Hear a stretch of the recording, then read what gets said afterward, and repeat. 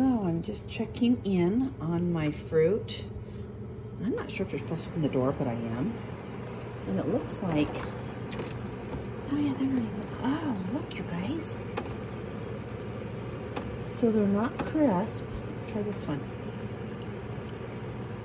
Oh my goodness. Um, yum. Let's try the No, so these are still a little bit soft. So I want to cook those longer, but I'm gonna taste them. Oh, yum. That tray's a little bit warm. But you know, my fingers with probably years of glue guns and crafting, I don't feel a lot of that. Let's try the blueberries. So they're, they don't feel moist at all, but mm, they're pretty yummy too. And, uh, oh yeah, that's still, that's still wet, so. And these are just the plain apples. Maybe let's try a small one.